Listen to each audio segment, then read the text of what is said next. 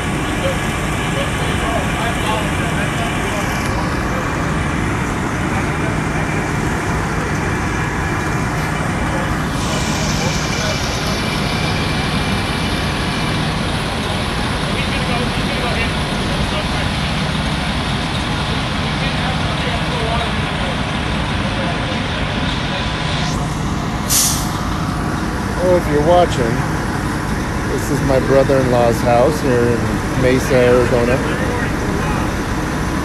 House caught on fire, something electrical in the attic.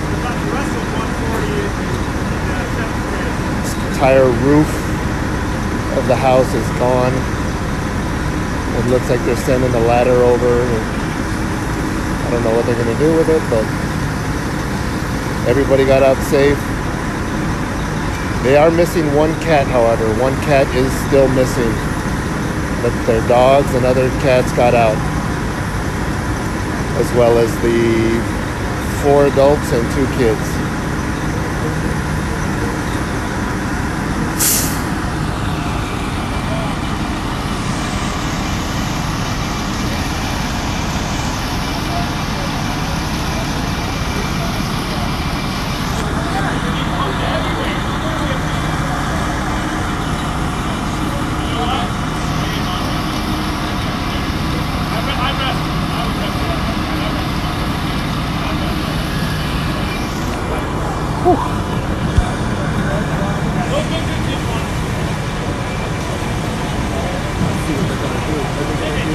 ready some more.